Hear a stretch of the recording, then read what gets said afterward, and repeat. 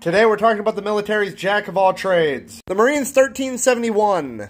The Army's 12 Bravo. And then it was a 21 Bravo for a minute. But it's back to the 12 Bravo.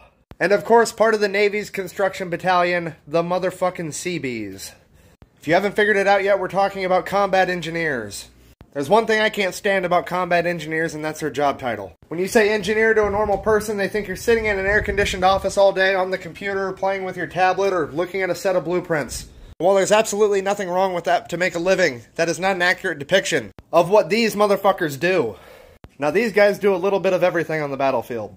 You need some fortifications built, call the engineers. You need some shit unbuilt, call the engineers. And if you need bodies stacked, you can still call the fucking engineers.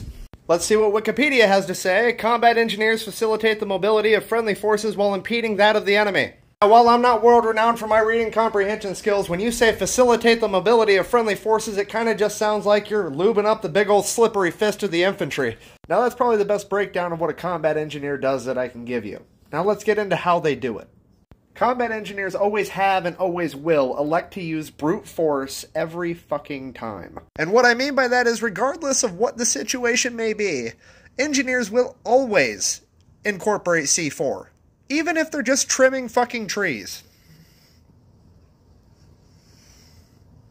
And that's not even the scary part. The scary part is how fucking nonchalant these guys are about handling high explosives. They will literally juggle bricks of C4, and when you go to say, uh, maybe we shouldn't be fucking doing that with the explosives, they go, ah, don't worry about it. It takes shock and ignition to go off. We'll be fine. They're the only people I've ever been around that talk about getting blown up like it's a minor inconvenience.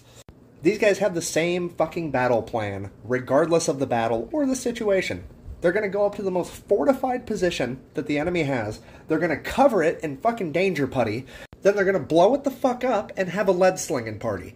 Does anybody remember like 10 seconds ago when I said they were really nuts and nonchalant about getting blown up? Does anybody notice they're using Kevin over here as a fucking meat shield? The worst part is there's still like a 50 50 shot that guy's not wearing a backplate in that body armor. Combat engineers are iconic. Most people just don't know it. Pretty much any movie where there's a demolition specialist, that's just a fucking dude based off a combat engineer. Here's my favorite one so, in conclusion, I guess I'm just trying to say don't let the term engineer lead you to believe that these men and women aren't absolute fucking badasses, because they are. Thank you for watching. If you enjoyed this video, it will be uploaded on my YouTube channel. There is a good chance it will get taken down on TikTok. You can find my YouTube channel by typing in The Fat Electrician in the search bar, or there is a link in my TikTok bio. There's also a link in my bio for my beer fund if you should feel the need to buy me a beer. So until next time, thank you for your service.